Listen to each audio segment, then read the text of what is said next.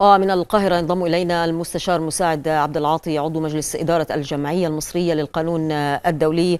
إذا أهمية مشاركة البنك الدولي سيادة المستشار إلى جانب الوساطة الأمريكية من ناحية إرساء قواعد وقوانين خاصة بتمويل بناء السدود. وإلى مدى هذه القواعد والقوانين تعزز موقف أحد الطرفين؟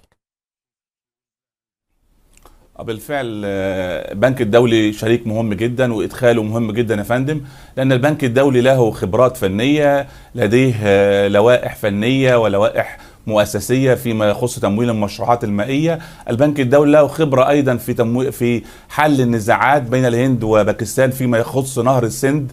وبالتالي يمكن التأكيد على على أن إدخال البنك الدولي يؤيد المطالب المصرية ويدعم وجهة نظر المصريه وجهة مصر الفنية. لا سيما وأن مصر لا لا تطلب فقط سوى الارتكان إلى الأصول الفنية والقانونية المعمول بها في إنشاء المشروعات المائية ومصر كانت كانت كان طلبت من قبل إدخال البنك الدولي لكن التعسف الإثيوبي رفض ذلك وبالتالي يمكن أعتقد أن إدخال أيضا البنك الدولي كان بسبب ما بذله السيد الرئيس عبد الفتاح السيسي في نعم. الجمعيه العامه للامم المتحدة من طيب. ضرورة إدخال البنك الدولي كوسيط فني طيب لو فرضنا أسوأ السيناريوهات وفشل الوساطة الأمريكية ما هي الخطوات القانونية اللاحقة بالنسبة لأحد الطرفين أو كلاهما؟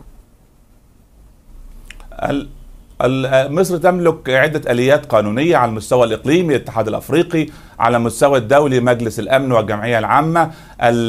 سد النهضة بهذه المواصفات وتفاقم هذا الوضع يصل إلى إلى وضع توصيف أنه نزاع يهدد السلم والأمن الدوليين، مصر قدمت العديد من المبادرات لحسن النية، العلاقات الدولية حضرتك يحكمها مبدأ حسن النية في العلاقات الدولية السيد الرئيس أكد كذا هذا العام والعام الماضي أمام الأمم المتحدة على ضرورة احترام مبدأ حسن النية نعم. المظاهر والتعسف الإثيوبي واضح حضرتك منذ أبريل 2011 وحتى م. الآن مصر ترتكن وتستند إلى حجج قانونية عديدة طيب. يمكن تبدأ من بروتوكول روما 1800 1891 م. ومعاهدة 1902 كأهم حجة قانونية للدولة المصرية في مواجهة التعسف الإثيوبي طيب ما هي ضوابط اللجوء للتحكيم الدولي وهل يمكن لأحد الطرفين اللجوء إلى التحكيم الدولي بشكل منفرد؟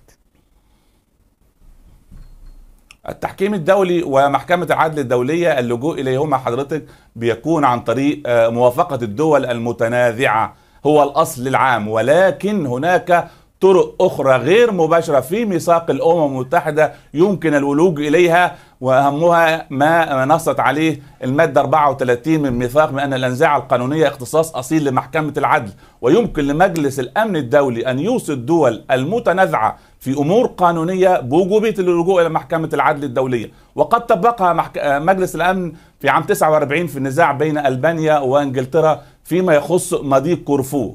إذا الآليات القانونية موجودة وتتيح لمصر اللجوء والدفاع عن عن حقوقها. ومصر ومصر تملك ملفا قانونيا قويا متينا. ولكن صانع القرار السياسي المصري هو من يملك الرؤية والتوقيت المناسب ولعل الوساطة الأمريكية هامة جدا بوجهة نظري أن على الأقل أن تحاط أكبر قوة في العالم الوساطة الأمريكية بمظاهر التعسف والغلو الأثيوبي ولكل حديث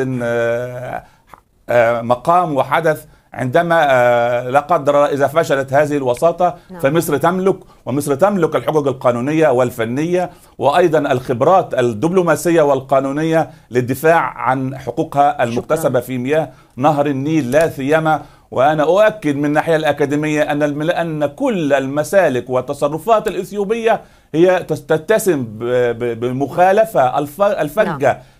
لثوابت القانون الدولي ويستطيع المفاوض المصري والدولة المصرية أن توظف هذه الانتهاكات الإثيوبية في إطار من التوجه والدعاية شكرا. الدولية لدى المنظمات المختصة وأيضا الاتحاد الأفريقي فندم شكرا جزيلا لك من القاهرة كنت معنا المستشار الدكتور مساعد عبد العاطي عضو مجلس إدارة الجمعية المصرية للقانون الدولي.